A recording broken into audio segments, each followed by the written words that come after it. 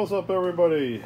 Today we are working on the Subaru Impreza G3 2009 and uh, I'm updating the brakes. I was supposed to do this this summer, but I bought a house, so it had to uh, come secondhand in this case. But ordered some new brakes, some EBC brakes.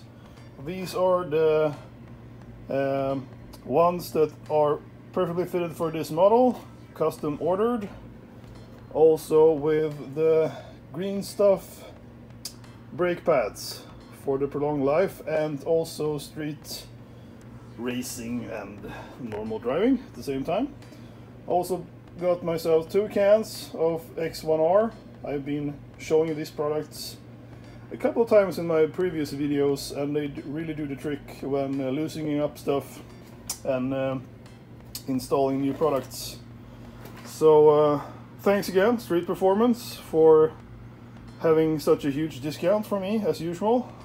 They've been my main sponsor for all these years when I'm starting started uh, fixing cars and having a car club. So the issue here today is changing the rear brakes because they look like this and this is what happens when you don't follow your schedule. And as you can see here you have a rivet in the rotor uh, it's not horrible but I can put my finger in there and it feels like a couple of millimeters maybe. So a bit of slippery slope there, as you can see. And you also see a lot of brake dust that has been overheated and got stuck on the rim. And as you can see, this isn't loose. This is stuck. I actually uh, had the time to wash the car before coming here. And I'm gonna put it on a hoist and see if I can remove everything myself. I'm a bit nervous about the bolts because with such heat and such cold as it is right now during December, they can be pretty much stuck. We'll see how it goes in my case. So here we go. Alrighty pants. So this is up and loosed and as you can see it's heavily worn out on the uppermost part of the rotor. So what we're going to do is first of all we have to remove the Uh, the upper part of the brake, the caliper, and these are the main bolts holding everything together. I think it's a bit hard to see here in the in the shade, but here this is the first one, and the second one is over, so you can see my hand, here. And they should be in the same size. And it's pretty easy, you just loosen them up, hopefully, if they're not stuck. And before uh, starting to install everything, you have to check out the brake pads and compare them to the, the ones you have bought just to be sure that the size and the girth of the whole thing is the same part. And hopefully all the custom ordering has run through as planned and everything should fit together, but we'll see. Alright, so the over most top of the caliper is off and as you can see here, the brake pads are just over here, behind everything. Pretty easy to swap out if you're just going to swap out the brake pads, but I'm going to change the whole rotor as, as we go. You can also use a screwdriver for removing the pads, because in my case they are pretty much stuck on there, so I have to like hammer a little bit just to get it out. I'm not so uh, I'm not so afraid of damage, damaging the old brake pads, but in my case, I can just uh, leave the car in the garage if everything goes bad. But I don't recommend using that tool if you need to reapply everything if you uh, discover that you don't have the right material and you have to go to the workshop. So be careful using that kind of a tool. So also another recommendation is using a wooden stick and using a wooden tool like this actually prevents from scratches and dings and everything that you can do on the rotor by mistake when trying to pry everything up. So a wooden stick works in a lot of solutions and also using zip ties to fix everything to place with the caliper. You can just hang it here on your shock absorber so it doesn't get in the way because you don't want to pull the brake line and drop it on the floor. That will damage the brake line. So this is what I'm gonna try to figure out how to get everything off and uh, so far so good. Two of the bolts look pretty good. So I'm gonna keep at it. Alright, so comparing the new parts made everything uh, work of course. So I've compared the both versions of these and they are spot on. Another accurate delivery from Street Performance as usual. I just, you can also see that it's falling, basically falling everything in pieces. I've never overshot a brake like this before. Oh my god. Seriously, check this out. There's nothing left. Holy crap. Anywho, so that's why we're changing it. They used to be green, by the way. Not so much anymore. Just like these. So uh, the part was correct. It's this one. The DP21 58-4. Also for the Subaru Outback. It's a nice little feature. Anywho, so what I've done so far is I've squished the caliper back as you can see here the main pillar that uh, shuts everything together like this and the best tool of using that for squishing things together is just something easy like this you usually just pry boards together when uh, doing stuff like fixing doors or uh, tables or stuff like that. So this is actually a wooden tool. Doesn't matter in this case. Or a small one. And you use just normal hand force usually if, if the calipers works okay. And I also applied a lot of X1R, the yellow one, inside. As you can see, so you can, it, it can slide uh, more easily when applied again because they usually get really dry especially the bushings. So keep them lubed as much as possible. And also when uh, hanging it uh, in this position, it can also uh, uh, go down a bit when you're doing the rest of the installations. So that's a good tech tip from my point. So uh, onward with the installation. Alright, so it was pretty easy to get everything off and uh, I also realized that the center bolt for having the connection rod and everything here is not stuck on the actual rotor as you can see here you can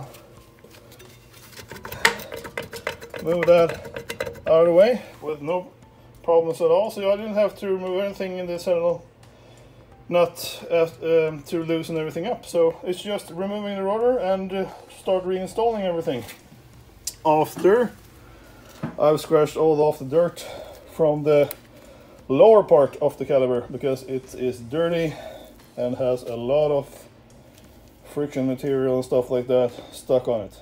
Alrighty, so everything is off as you can see here, no rotor and the shield is also pretty rusty so I'm gonna do something to do as much as possible at least uh, to scratch everything off and maybe apply some paint as well if I have the time. I'm a bit pressured of time as usual when I'm doing stuff like this.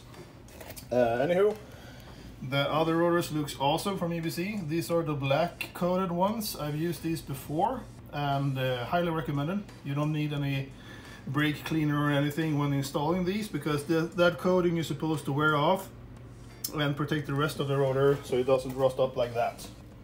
As you can see I've been painting the original part and uh, well, it stands the test of time as much as possible now, but now it's just completely outdated as you can see and worn out. So armored with cleaning and installing this beauty.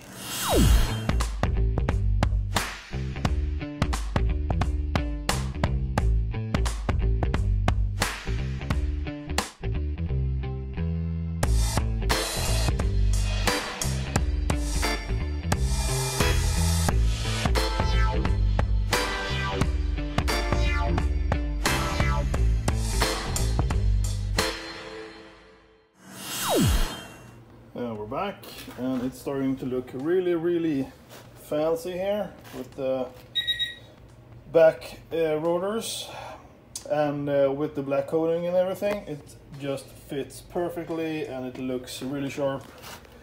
Uh, also uh, I painted the shield with some hammer finish.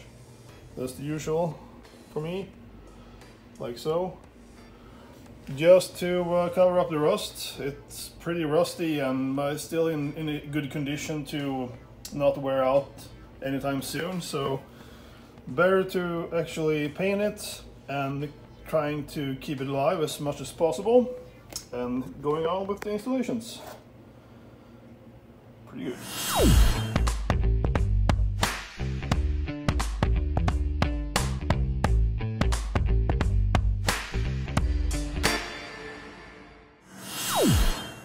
And there we go. One is finished. That took a couple of hours because I was really picky on the color and uh, paint when it comes to protecting the rust things. So uh, the disc, perfect shape. Calipers fit perfectly with the EBC pads.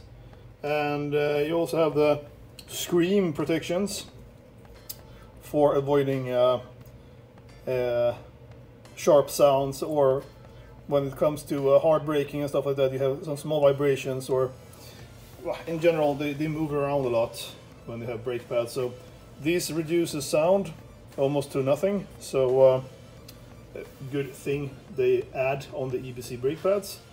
Also put some EBC brake fluid. It's uh, not really fluids it's uh, copper paste. As you can see here. And you put some just on the rivets uh, as the brake pads move. You can use one of the new ones. So as you install these ba back on the uh, mount, mount mountings they are uh, shaped like that that in uh, in metal. Hard to show, I don't have it in front of me, but as you can see here, there's a lot of friction in this area. So you'd put some paste there as you install them back on the brackets on the caliper. So just a little bit there, a little bit there. So that's another good tip to make it all nice and lubed so it can move around. So back with the tire.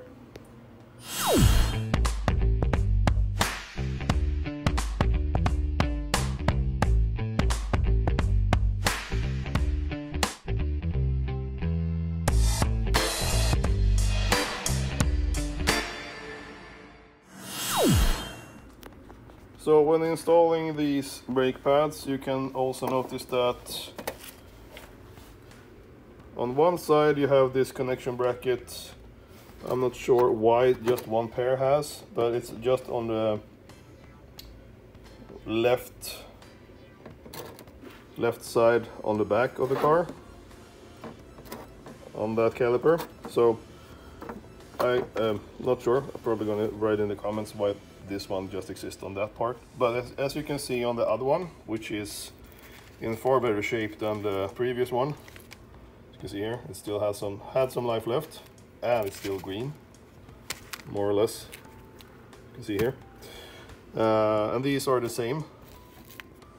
And they don't have an extra, extra connection bracket as you can see on this side which doesn't ma matter in this case. So we're just gonna put some uh, some EBC cream here on the brackets over here so it can slide better. Not too much, just a bit of a squeeze as you can see here, just pretty easy to work with. And installing the new pads.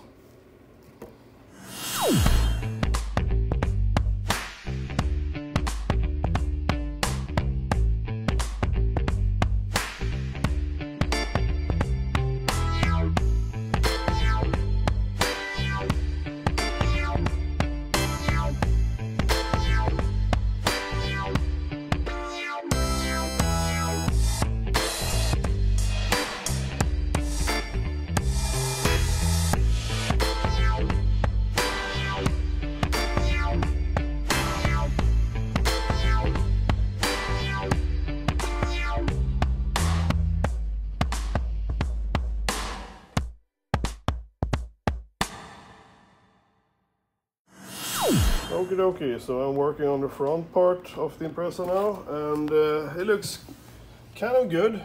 There's not so much rust as I expected from visiting the backside, which had a lot of rust. These shields actually look pretty good.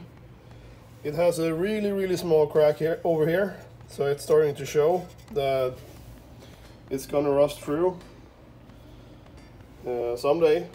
So uh, what I'm going to do is I'm going to keep doing the same thing as I'm doing on all the shields and paint them with hammer finish. But I also will uh, paint the, the connecting socket to the knuckle as well.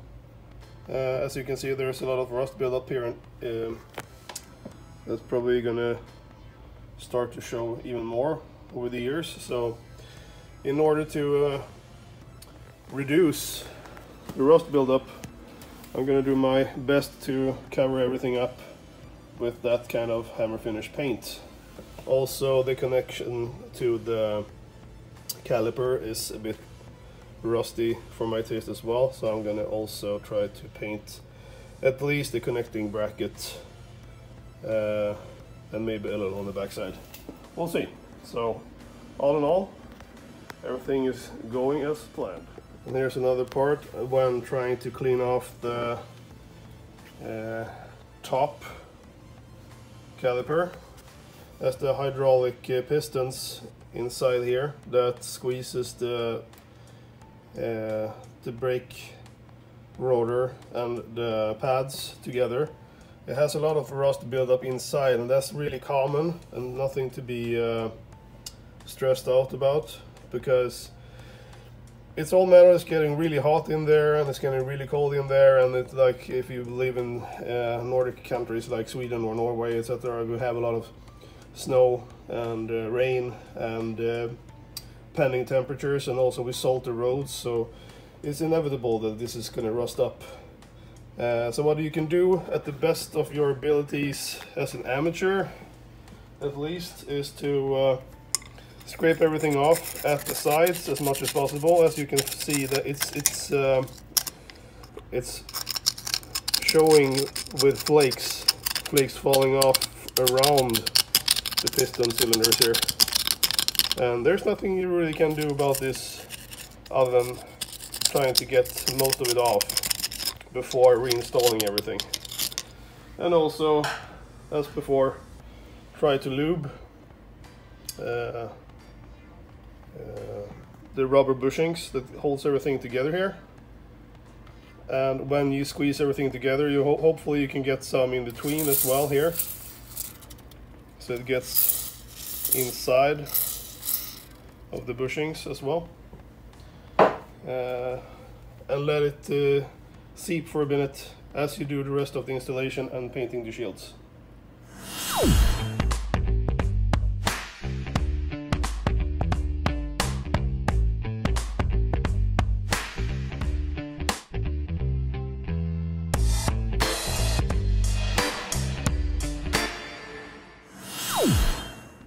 And as you can see, I'm almost finished with the third caliper and changing the pads after cleaning up some of the residual dust and gravel and rust. And uh, on this side you have again that pad that has an extra bracket thing. So be sure to install these screamer protections, as they're called in Swedish, just to avoid uh, sharp uh, metal grinding sounds that can happen with um, pads if you don't have those protectors. And also these are the old ones, as you can see here, they're fairly worn, not in any way dangerous. So they actually stand the test of time on the front of the car. So probably the problem was that the caliper wasn't moving as much as it was supposed to. So probably it grinded it too fast. But in this case everything looks pretty normal. So I'm just gonna start installing these onto these in the right order and don't forget to use the lube.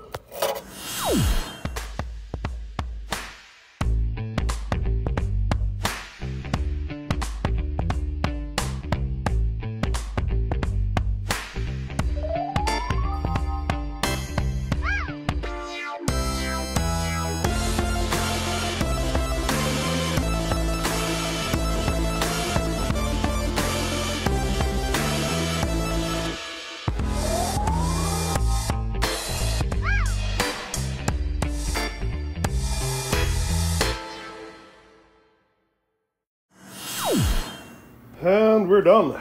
So what should have taken a, a, full day of changing brakes took three days approximately because of all the issues with rust and also the calipers on the right side was completely jammed so I uh, had to use all the tools I could even destroyed a couple as well. Let's see we have the collection here so what worked in the end was better quality of these to squeeze everything together.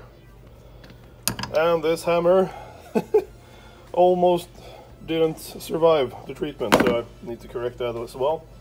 Use different kinds of methods. You can use uh, a hammer and uh, a wrench like this and pry them apart by hand, but even me with my strength, it always went halfway. So I had to use both of these at the same time, slowly pushing everything backwards with an old brake pad. That was the, the best version of trying to squeeze everything together. And also be aware that the reservoir of the brake fluid can overflow during this procedure because you're squeezing back all the pressure. So it uh, squirted a bit here for me. So uh, what you can do is just wrap some paper around it, open the cork, the cap to uh, let the pressure out. And afterwards you just have to run your car for a bit, brake, and uh, because you have already anyhow need to embed the brake pads and the discs. Uh, that's the recommendation from the EBC Corporation. Uh, and check out the, the braking fluid levels.